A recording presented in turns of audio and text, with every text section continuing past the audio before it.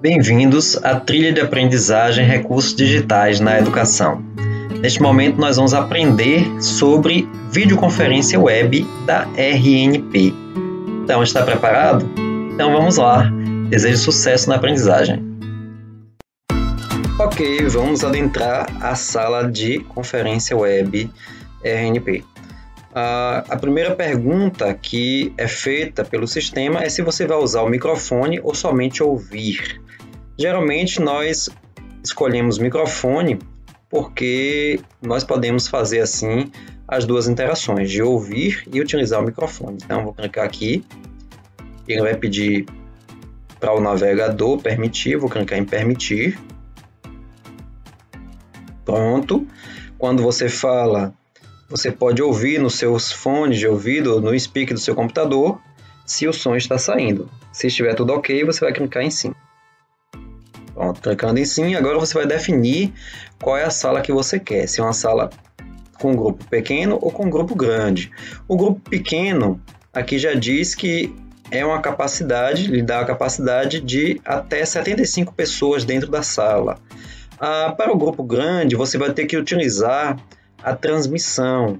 A transmissão é para algum streaming de vídeo, né? Isso pode ser ah, o YouTube ou o vídeo RNP. Mas nós vamos escolher aqui o pequeno para mostrar a sala, né? A sala dentro da sala que é a forma que é utilizada aqui com até 75 participantes. Aqui ele dá uma mensagem do bate-papo público. Aqui nós temos o endereço da sala, né, de como o endereço que você deve compartilhar, né, para aqueles que vão acessar essa sala. No entanto, para quem usa no Moodle, não precisa compartilhar esse endereço aqui tudo bem? Vai, vai no Moodle, esta sala é, vai ser utilizada pelos participantes que já estão dentro da sala. Tá? Aqui ele diz ainda que é, né, confirma que é limitado a 55 participantes, então tudo bem. Ah, nós temos então aqui na barra lateral algumas funcionalidades que vamos ver agora. Nós temos o campo perguntas. Esse campo perguntas aqui refere-se a quando você transmite a sala, né, a sala de conferência aqui através do vídeo RNP. A sala de bate-papo público foi o que eu estava mostrando aqui agora. E nós temos também as notas compartilhadas. O que é que faz as notas compartilhadas? As notas compartilhadas compartilha todo o conteúdo que pode ser digitado aqui, né? É, por exemplo, vamos colocar aqui a relação, a relação dos grupos, dos grupos de trabalho, digamos assim, né? Então, se o professor for definir grupos de trabalho, grupos, equipes, né? É, de seminário, por exemplo. Então você pode botando aqui, né? É, é, e os estudantes eles vão compartilhando aqui, compartilhando é, é, compartilhando seus nomes e vão colocando aqui quais são os grupos a que eles pertencem, por exemplo, né? Cada um pode fazer aqui, vai compartilhando uh, os grupos, cada um dos componentes, e aí o professor pode depois pegar essa lista, certo? E, bom, coloquei aqui então alguns nomes fictícios para ilustrar. Você pode também, enfim, colocar a lista de relação do, dos, dos, dos e-mails, relação de telefones, é melhor. Relação de telefones, então cada um vai colocando seu, seu nome e telefone aqui embaixo, né? É uma coisa interessante a se fazer. Bom, a, você pode também depois baixar essa lista aqui. Essa funcionalidade aqui, esse botãozinho, ele vai poder exportar em diferentes formatos, ele vai pedir para é, você escolher um dos formatos, né? Você pode escolher em, em, texto puro, que vai em TXT, em Microsoft Word, PDF, ou em ODF, né? Que o, você, se você usa o OpenOffice, você vai escolher o ODF, por exemplo, e aí você pode baixar é, essas notas compartilhadas. Ok, então as notas compartilhadas servem para isso. Logo abaixo nós temos a relação de usuários, né? É, nesta sala tem apenas eu como usuário e nós temos aqui um, um, ícone que define a permissão do usuário. Se por acaso o usuário for um usuário a, a visualizador, esse ícone aqui que para mim aparece em formato quadrado aparecerá circular. Nós temos também aqui uma outra representação que é essa esse, essa marquinha aqui azul, né, esse íconezinho azul aqui em cima, em formato de tela, diz que eu sou o apresentador.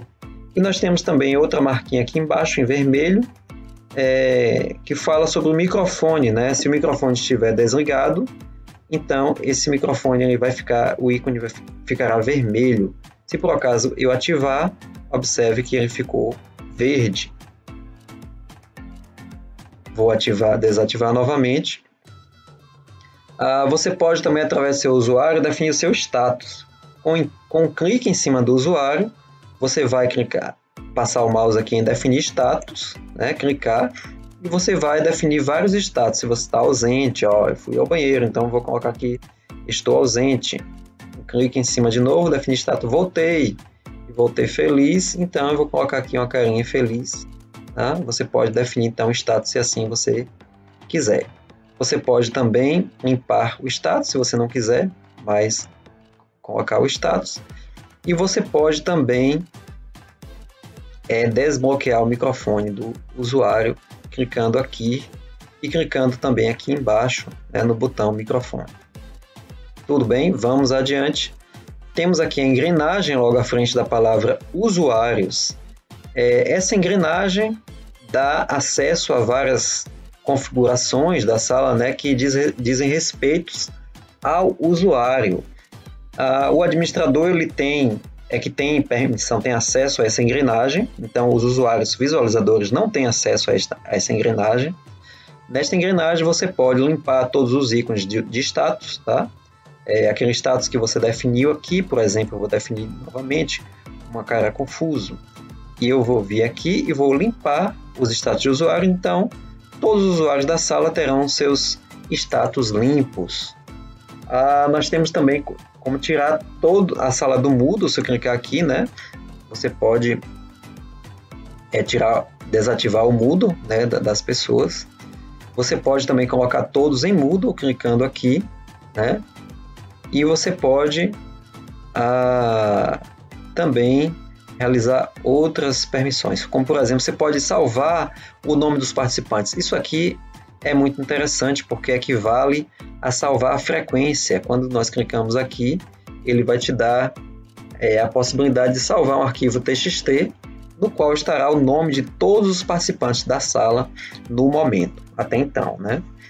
Você pode também aqui é, é, restringir participantes e definir política de convidados. É, só é importante é, é, salientar que essas duas funcionalidades aqui podem ser confundidas, porque a política de convidados restringe participantes ou não, e a opção restringir participantes diz respeito a outras permissões de usuário, que eu vou mostrar exatamente agora. Por, por exemplo, você pode é, restringir aos participantes o uso da, da webcam aqui está com, com status liberado. Você pode também ver o webcam de outros participantes, aqui está como liberado. Você pode compartilhar microfone, você pode enviar mensagem pública, você pode enviar mensagem privada, você pode editar notas compartilhadas e você pode ver outros participantes na lista de usuários. Tudo isso aqui está liberado, então é, os usuários é, é, podem realizar essas atividades que estão liberadas. Se você não quiser, você pode vir aqui e bloquear todas e é, simplesmente o que estava liberado passa a ser bloqueado. Então esta é a opção restringir participantes. Na verdade, ele não restringe participantes, ele restringe recursos dos participantes. Mas talvez para diminuir né, o nome da funcionalidade, eles colocaram apenas restringir participantes. No entanto, a política de convidados é que restringe o acesso dos convidados. Né? Você pode é, deixar aqui marcado é, quanto ao acesso ao o, o, o usuário entrar na sala. Para entrar na sala, ele tem que perguntar ao moderador ou você pode permitir que todos entrem, né? Eu cliquei ali em permitir que todos entrem, ficou marcado aqui permitir todos. Ou você pode também rejeitar que todos entrem. Eu vou deixar até aqui marcado rejeitar que todos entrem, porque eu não quero que ninguém entre nessa sala agora que eu estou no tutorial. Vamos lá, prosseguindo, temos ainda aqui uma última funcionalidade muito interessante.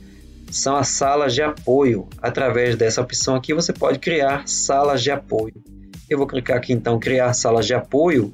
Como é que nós criamos essas salas e para que que elas servem? Ora, um, um, exemplo de utilidade dessa sala aqui, né, é o uso pedagógico dessa sala, seria a realização de atividades em grupos dentro da mesma sala. Então, se você quer dividir a, a turma que está presente dentro da sala em grupos, durante um determinado momento, né, é um, é um momento temporário, você vai dizer quantos grupos, né, quantas, quantas salas, subsalas você vai definir. Então, digamos que a turma tenha cinco grupos. Então, ele vai criar aqui cinco salas: sala 1, sala 2, sala 3, sala 4 e sala 5. E quanto tempo será necessário para que esses grupos discutam entre si, né, separadamente, individualmente? Ah, eu vou dar então 30 minutos, eu vou clicar aqui ou simplesmente digitar 30 minutos. E como é que você vai dividir cada um dos estudantes ou dos participantes da sala dentro desses grupos? Ora, para dividir dentro dos grupos, você vai simplesmente arrastar, né, cada um dele para uma dessas salas, como eu estou arrastando aqui o meu usuário, ou então você pode também é, permitir que cada um faça o acesso, é, é, faça a escolha né, individual por uma das salas. Se você fizer isso, é, você não precisa arrastar nenhum usuário para aqui, simplesmente você vai clicar em criar. Ou você pode ainda atribuir aleatoriamente. Se você clicar aqui atribuir aleatoriamente, então automaticamente a turma será redirecionada para é, de forma equitativa para cada uma das salas aqui que já existe. Quando você clica em criar, então é, as pessoas que estavam dentro da sala original serão derrubadas, né, serão é, migradas forçosamente para as salas de apoio. E aí automaticamente elas serão reconectadas dentro da sala de apoio e quando o tempo acabar, também da mesma forma, automaticamente elas serão é, é, colocadas dentro da sala original. Eu vou fazer aqui, vou dar um exemplo né, de, de como é que isso acontece. Eu já estou aqui na sala 1, eu vou clicar em criar, então automaticamente eu vou ser redirecionado. Aqui ele vai me perguntar: gostaria de participar da sala 1. Eu vou clicar em entrar na sala, né? Você pode também recusar. Então está entrando aqui na sala 1. Novamente ele pergunta as, as mesmas perguntas que ele faz quando alguém entra na sala. Mas observe que aqui não é, não é a sala original. Aqui é uma outra sala. Né? Embora pareça que eu entrei na mesma sala, não é. Aqui diz assim, sala 1, José Renato, estou dentro da sala aqui. E aqui eu tenho um tempo regressivo, né? o tempo cronometrado para que eu possa realizar as minhas atividades dentro dessa sala. Observe que essa sala é exatamente igual à, à sala original, tem um campo perguntas, tem um campo bate-papo público, tem um campo notas compartilhadas, então todas as ações podem ser desenvolvidas dentro dessa sala exatamente como na sala original. Aí eu já estou com o meu tempo aqui finalizando. Observe que eu serei redirecionado automaticamente então já voltei aqui, ó, automaticamente. Voltei para minha sala original. Então testei meu microfone, pronto. Voltei para a sala original. Então esta é a funcionalidade criar salas de apoio. Muito bacana, né? Então nós já finalizamos aqui a primeira parte do, da conferência web, que é a parte dessa desse menuzinho aqui lateral esquerdo. Continuando, nós vamos agora conhecer outras funcionalidades da sala de webconferência da RNP. São os botões ao redor da sala, né? Vamos fazer um giro aqui para conhecer melhor esses botões antes de partir para o botão principal, que é o grande botão azul. Já já nós vamos chegar lá. Ah, nós temos aqui a função então do microfone, ativar e desativar, já mostrei para vocês. Nós temos também aqui uma, uma opção de desativar áudio, né? Você não quer mais ouvir o que as pessoas estão falando, então você desativa aqui, seu áudio será desativado, o microfone também é desativado, mas você pode ativar também novamente o áudio, ele vai novamente aqui pedir para testar e dizer se está ok, né? Nós temos a opção aqui também de ativar a câmera, né? Você pode ativar a câmera aqui também, é, é, compartilhar a sua câmera, vai pedir para permitir. A, a minha câmera aqui, ela vai dar um erro, né? Porque eu estou utilizando aqui no tutorial, mas seria essa opção, você visualizaria sua câmera e clicaria em iniciar e compartilharia a sua tela, a sua webcam com os participantes da reunião. Nós temos também aqui a opção de compartilhar a tela, né? Então, quando nós clicamos aqui em compartilhar a tela, ele pergunta se você quer compartilhar a tela inteira, a janela do aplicativo ou uma guia do Chrome. E você pode compartilhar dessa forma a sua tela, né? Se eu clicar aqui em janela do aplicativo, ele vai me mostrar a essa janela que eu estou compartilhando, que é a própria janela aqui do é, OBS, né?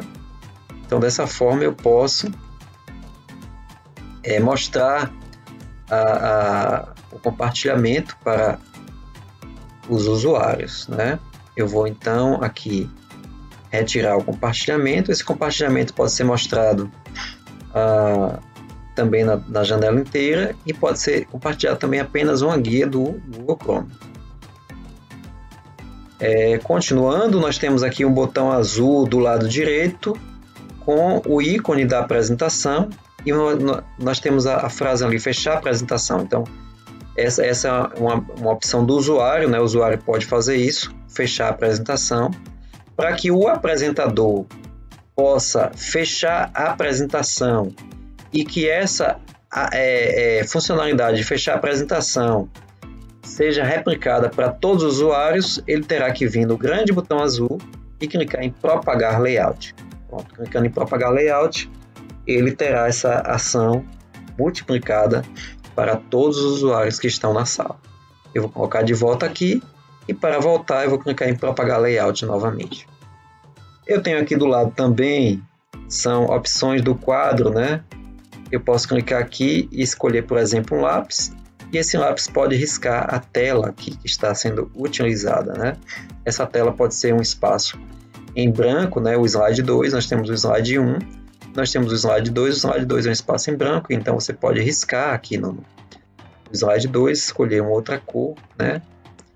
Pode realizar testes aqui, você pode fazer desenhos, gráficos, gráficos que você queira, né? É, certamente não serão gráficos é, muito precisos, aqui eu apago, e, e, mas você tem opções né, de usar desenhos também, podem ser mais precisos, e aqui você pode trabalhar é, da forma que você achar melhor, né? Posso aumentar aqui, por exemplo, o tamanho do, do ponto e assim eu posso ir ah, trabalhando ah, os temas, né, os assuntos em sala de aula. Ah, essa tela ainda pode ser compartilhada com os usuários dentro da sala. Nessa opção aqui embaixo nós temos iniciar o modo multiusuário, que simplesmente é uma opção para que todos os usuários, aí apareceu meu nome aqui, todos os usuários que estiverem na sala, eles irão poder riscar a lousa, né? Eles ficarão à vontade para poder riscar e fazer o que quiser a, a, com a lousa. Aqui eu posso redimensionar o tamanho do pincel. Então este é o quadro, né, a lousa dentro da, da sala da webconferência RNP. Logo acima nós temos então os três pontinhos que dizem respeito a algumas configurações, né? São as configurações da sala. Ah, eu tenho aqui animações. Animações são aqueles avisos que aparecem né, quando eu faço qualquer ação.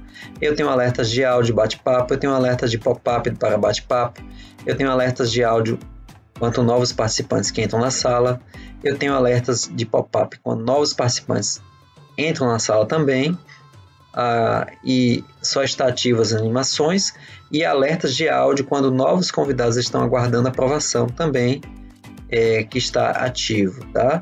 Isso aqui eu posso modificar e eu posso é, também fechar, tá? Esse, esse foi abrir configurações, essa foi a permissão abrir configurações. Nós temos aqui informações sobre, nós temos como enviar, enviar feedback, nós temos é, uma opção de ajuda e nós temos também aqui atalhos do teclado para determinadas funcionalidades. Então aqui já diz, né? São dicas se você quer operar a sala de forma mais dinâmica, você pode usar alguns atalhos, como por exemplo, ativar áudio. Ativar áudio é Alt mais J, então é, é, você clica, segura o Alt e aperta o J e isso vai acontecer dentro da sua sala do, da RNP. Tudo bem? E é importante também ainda falar dessas outras funcionalidades aqui da sala. Você tem como encerrar a sessão e você tem como sair da sessão. Só observando que qual a diferença de encerrar a sessão e sair da sessão. Ora, sair da sessão, simplesmente o seu usuário sai e os demais participantes dentro da sala, eles serão, é, é, eles permanecerão dentro da sala. No entanto, se você clicar em encerrar a sessão, a todos os que estão dentro da sala serão sairão automaticamente, serão forçados a sair da sala porque a sessão será encerrada. Tudo bem? Então é importante, se você não quer que todos saiam da sala, apenas você, você não errar e clicar em encerrar a sessão, mas clicar em sair. Ok. Aqui temos um ícone que informa o status de conexão. Por enquanto minha conexão aqui é boa, né? não tenho nenhum aviso de problema de conexão. Aqui ele ainda fala sobre ativar webcam, ativar compartilhamento de tela caso sua, o seu status de, con de conexão esteja ruim, né? Para que possa melhorar a conexão. Ah, dando aí no giro, aqui nós temos é, o meu nome, o nome do participante, e aqui nós temos, ou melhor, temos o nome da sala que está em meu nome, e nós temos aqui ainda o botão iniciar gravação. É, clicando aqui, você pode, então ele vai perguntar iniciar gravação, você vai dizer que sim, né? Só é importante informar os participantes que a reunião será gravada e permitir também a permissão de todos para que a reunião seja gravada. Para pausar é, a reunião, né, você pode pausar a gravação, melhor dizendo, você pode clicar em cima e ele simplesmente vai pausar. Ele não vai é, parar, encerrar a gravação, mas ele vai pausar, porque ele entende que você ainda está com a sessão ativa. Né? Para que você possa então continuar, você clica em continuar, ele volta a gravar do ponto onde ele parou tá? E você pode, assim que não quiser mais gravar, novamente para pausar a gravação. Ah, para que a gravação ela seja gerada na RNP, você não pode esquecer de encerrar a sessão, tá? Porque simplesmente se você sair da sala, a sessão não será encerrada. Para parar a gravação, se você ainda estiver com a gravação ativa até o final, você tem que encerrar a sessão. Ok? Então, nós demos um giro aqui e conhecemos as demais funcionalidades dentro da sala da webconferência RNP. Continuando o nosso tutorial, nós vamos agora conhecer o grande botão azul, exatamente ele, o BBB, o Big Blue Button. Bom, esse que é o grande botão azul aqui, é o botão é, que está com o íconezinho aqui do mais. É o botão principal que apenas o apresentador tem acesso e no, no qual nós temos também as principais funcionalidades da sala. Deixamos por último aqui. Então vamos lá clicar de imediato no grande botão azul e nós vamos ver aqui as funcionalidades que ele traz. Primeiro nós vemos aqui uma funcionalidade muito bacana, eu vou mostrar logo aqui, que é iniciar enquete. Ora, através dessa funcionalidade, nós podemos fazer enquetes, né, pesquisas, ah, consultas aos usuários dentro da sala e todos terão a possibilidade de responder. nós podemos perguntar, por exemplo, se todos estão entendendo a aula e clicar aqui na opção sim ou não. Vou clicar aqui, todos começarão a responder se estão compreendendo se a aula está legal, se está é, é, e aparecerão aqui embaixo os usuários, né, que responderam e as respostas. Nós não temos como ver aqui porque nós não temos usuários na sala neste momento, mas é, irá aparecer, pode confiar. Depois que todos responderem, né, ou, ou, todos que estiverem atentos, né, à aula, essa é uma funcionalidade também que serve para saber é, quem está atento à aula, né, quem está participando mesmo, de verdade. É, é, você pode fazer, é, consulta periodicamente. E depois você vai clicar em publicar os resultados. Os resultados vão aparecer logo aqui abaixo, como vocês estão vendo, né? As respostas de quem colocou sim ou não em porcentagem, em número e em porcentagem. As respostas vão aparecer. As respostas aparecem ah, no slide, né? Na tela de, de apresentação aqui vai aparecer. Nós temos então nessa funcionalidade iniciar enquete, outros tipos de resposta, verdadeiro ou falso, AB, ABC e até ABCDE, ou uma enquete personalizada. Você pode aqui colocar as opções que você quer que os, que os usuários respondam e logo abaixo você clicar em iniciar enquete. Ah, só relembrando, né, é bom frisar que a pergunta você não escreve, a pergunta será feita de modo verbal, né? A pergunta é feita verbalmente e todos vão, vão clicar nas opções que aparecem na tela para o usuário. Essa é uma opção muito legal, muito bacana, que os usuários também gostam da interação. A, a outra funcionalidade aqui do BBB, do grande, grande botão azul, é o carregar uma apresentação. Vou clicar nela aqui. Ora, já existe uma apresentação ali é, que vem por default, né, por padrão na sala que é essa daqui, que está como sinalizada como uma apresentação atual. Mas eu posso carregar várias outras. Posso arrastar aqui para essa sala ou eu posso também é, escolher no meu computador. Eu vou escolher aqui algumas apresentações de teste apenas para demonstrar como funcionam e nós podemos ah, poderemos ver como é que se dá o controle dessas apresentações. Vou clicar aqui em duas apresentações qualquer que eu tenho aqui. Tá? Então, observe, eu estou carregando aqui uma apresentação em PDF e estou carregando aqui uma apresentação em PPTX. Então, isso aqui já mostra que você pode carregar em vários formatos de arquivo. Aliás, qualquer arquivo você pode carregar aqui ah, para que ele seja mostrado na tela. As apresentações de, de, de, em PDF, elas são melhores porque serão carregadas de forma mais rápida. E as apresentações PDT elas também podem ser carregadas. É, no entanto, se você não tem a, a, a, problema em converter em PDF, é melhor que você converta em PDF. Vamos lá, então. É, nós temos aqui logo à frente da apresentação três botões que é importante dizer para que eles servem. A, a, primeira diz respeito a você permitir o download para o usuário. Se você quer que os usuários façam o download dessa apresentação, você vai clicar aqui nessa primeiro, né, primeiro ícone e ele ficará disponível, a apresentação ficará disponível para download por todas as pessoas. A segunda opção é, diz respeito a qual é, qual é das duas apresentações que você está carregando aqui. Você pode carregar quantas apresentações você quiser, uh, todas que você irá usar, usar na aula, e é melhor que você faça esse carregamento previamente, porque assim você não perderá tempo uh, durante a sua aula. Então você vai sinalizar aqui qual que você quer, eu vou sinalizar de baixo, digamos que eu quero começar com a apresentação de baixo, e a terceira opção é para excluir. Ora, eu carreguei errado, então eu vou excluir. Vou excluir então essa outra aqui e vou carregar a apresentação correta. Né? Vou escolher uma apresentação aqui ah, também em PDF para que ela seja ah, tão rápido quanto a apresentação que eu coloquei acima. Então eu já Coloquei aqui, escolhi corretamente todas as apresentações e vou clicar em enviar.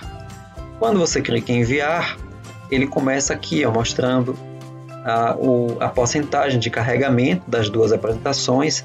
Então, observe que você vai ter que acortar o tempo para que isso aconteça. Por isso que é importante que esse carregamento ele seja feito antes do início da aula. Você vai ter que entrar na, nessa sala é, com antecedência e ali você vai é, fazer o preparo da sala. Observe que uma delas aqui já carregou e nós estamos aguardando então uma outra segunda aqui carregar. A apresentação que vai aparecer na tela, né, após o carregamento, de imediato, é a apresentação que você deixou sinalizada. Então aqui já carregou. Então aqui nós temos a apresentação PDU SEAD, né, que estamos carregando aqui para teste. É, ela já apareceu. Observe que é, essa apresentação é, não permite download em nenhum, nenhum espaço. Nós vamos então, digamos que já apresentamos, né? Aqui ela mostra também todos os slides. Nós temos 11 slides aqui. Você pode passar aleatoriamente qualquer slide e você pode passar na sequência também esses slides, certo? Eu vou aqui, estou aqui passando na sequência. E digamos que terminamos de, de, utilizar, quando vamos para o grande botão azul, ele mostra aqui as apresentações, a default, que é aquela que nós já estávamos usando, que lembramos que temos dois slides nela, esse padrão, né? E esse segundo que é o slide branco, né? Vou deixar aqui no padrão. E nós temos também a outra que nós carregamos aqui, que é esta apresentação aqui, plataforma Digicomp, a, em que aparece logo abaixo aqui a permissão de download. Então, se nós configuramos essa apresentação com a permissão de download, nós podemos é, permitir que qualquer usuário faça essa, essa, é, esse download. Ah, mas se eu quiser então permitir também o outro que faça o download, ó, eu vou lá novamente em carregar uma apresentação, ele vai mostrar essa tela e eu vou aqui né, autorizar e o outro eu vou negar. Então você pode também fazer essa alteração, tá bom? De é, permissão de download. Vou clicar em confirmar observe que aqui apareceu logo abaixo a setinha para baixo de download. Tudo bem? Bem fácil, né? Nós temos também ainda a opção aqui de abrir uma sala privada. Não confundir abrir essa sala privada com a permissão aqui de criar salas de apoio, porque ela é bem, bem semelhante, né? Quando clicamos aqui ela aparece aquela tela bem semelhante, mas não tem a mesma funcionalidade. Essa sala privada aqui é para você a, é, escolher alguém com quem você quer fazer uma conversa paralela, uma conversa privada, né? Então você pode abrir uma sala privada para algumas pessoas conversarem também. Nós temos aqui a opção ativar cronômetro. Quando clicamos em ativar cronômetro, é, abre um cronômetro, mas também abre um temporizador. Você pode usar, utilizar os dois. Cronômetro ele começa a contar do zero, né? Quando você clica aqui em iniciar, ele começa a contar e você pode parar a qualquer tempo e o temporizador você pode estabelecer uh, um tempo de, de contagem regressiva. Eu vou colocar aqui então uh, 10 segundos, né? 10 segundos e clico em iniciar. Ele vai fazer uma contagem regressiva. Você pode dar um tempo para que algumas pessoas falam, uma equipe de seminário se apresente, né? E quando terminar o tempo, ele vai emitir um aviso sonoro né? E esse aviso sonoro ele irá ser audível para todos os participantes da sala. Então, você pode parar e você pode fechar o temporizador. Vamos então para a próxima funcionalidade. Logo abaixo de é, ativar ou desativar cronômetro, né? Você pode compartilhar um vídeo externo.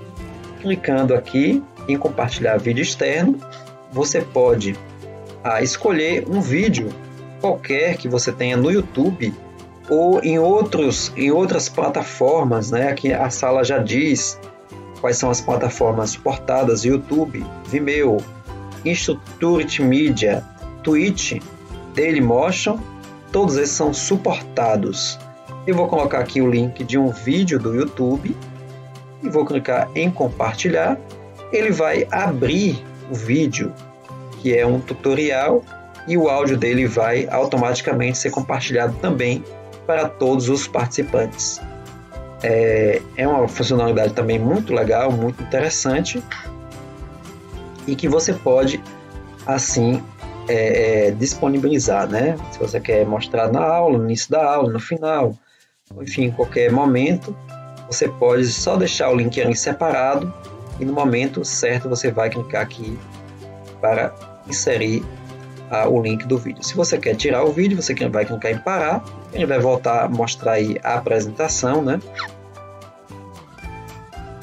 E assim você pode ah, continuar a aula. Temos a opção aqui transmitir sessão, mas nós não vamos mostrar nesse tutorial, mas em um tutorial específico para isso. É, a opção também de SCACIP, não, nós também não uma, uma opção também é, muito utilizável é propagar layout e abrir múltiplas notas.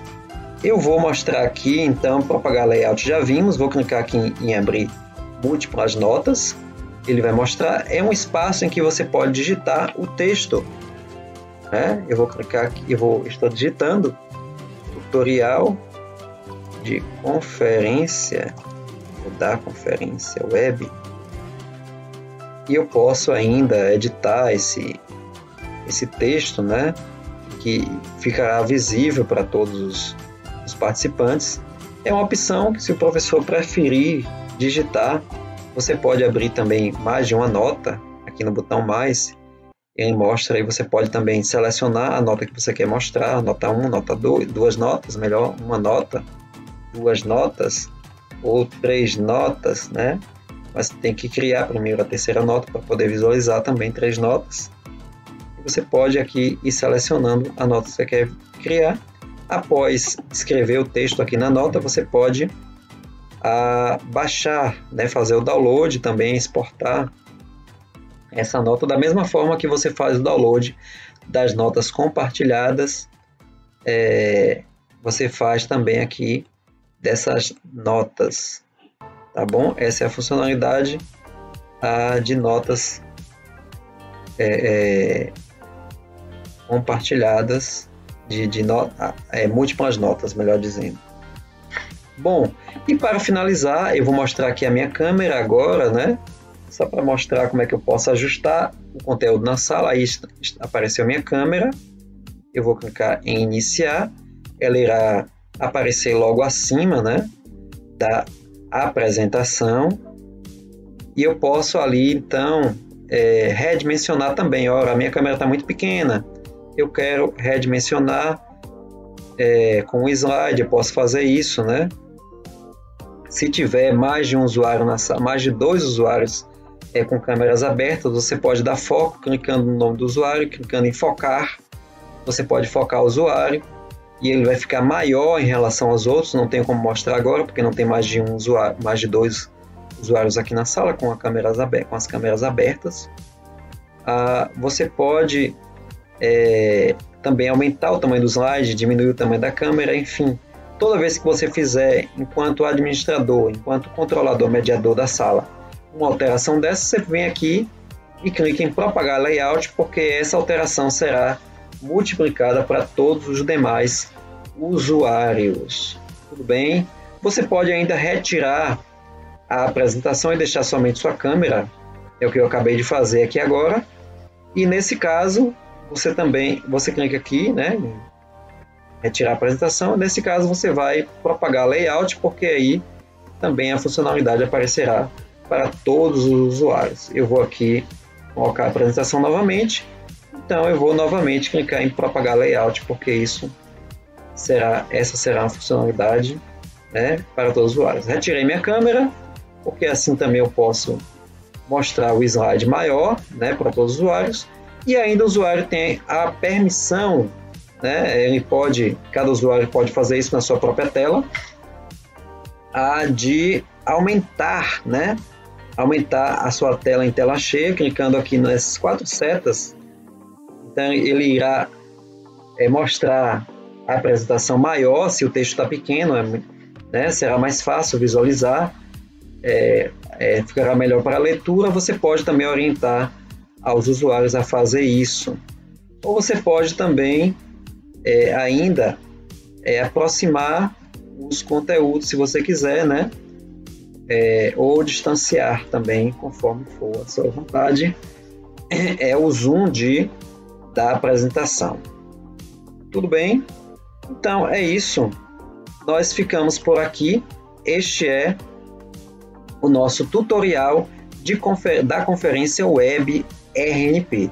Espero que você tenha gostado, espero que você tenha aprendido, tá? Sucesso para todos vocês na utilização deste recurso fabuloso que está disponível para todos nós na comunidade UFBA.